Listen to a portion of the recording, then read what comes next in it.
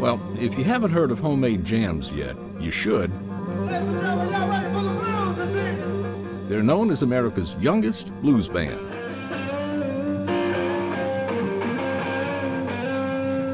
They're from right here in Tupelo. The band is made up of three family members whose ages range from 17 to 15 to 10. My dad went overseas to Korea by himself. Uh, he left us in Mississippi while he went to Korea for about a year. And uh, when he came back, um, he took us all to Germany. And we were unpacking, and I found uh, my dad's old guitar that he bought when he was in Korea. And I didn't know what it was at first. I just thought, you know, it was really cool. I, I forget what uh, I forget what color it was. Maybe a sunburst color. I really liked it. It was, uh, you know, I thought it was interesting. When I come home for lunch one day, two weeks later, and he's playing along with TV commercials. And then I said, "Man, how you learn that?" He goes, "No, that's nothing. Watch this." And he struck off into a blues riff. I just fell in love with the guitar, the blues music, everything, all at that point right there. And I was uh, seven years old. After being inspired by his brother Ryan, younger brother Kyle decided to try his hand at piano and guitar before finally settling in on playing the bass. One day my dad asked me if I wanted to try the bass guitar and I said sure and then you know I started to play with it and uh, it actually stuck.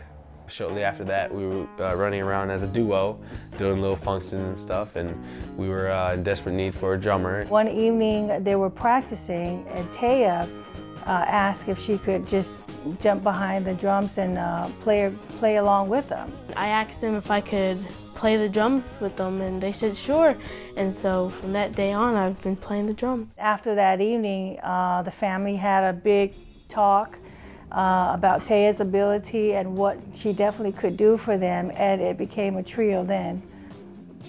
After only two years of constant practice and touring around the state, the Homemade Jamz Blues Band got an unexpected break. Someone had saw us at a festival and they came up to us and asked, um, hey, have you guys heard of the IBC or the International Blues Challenge? And we were like, no, we haven't. And they um, told us that we should, uh, you know, sign up for it. That next February, we go up to Memphis and, and uh, we go to the IBC and we end up taking second place. After that, the phone kept ringing. We started traveling outside of Mississippi. Going to Norway was really exciting for all of us. We've gone to Holland, Switzerland. We've been to Canada, I think about four times maybe. Despite the band's rapid success, mom and dad haven't forgotten the importance of a good education. Each youngster is homeschooled. In addition to this, Tricia and Renaud manage the band.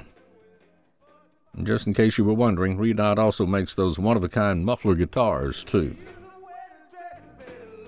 It's a good thing.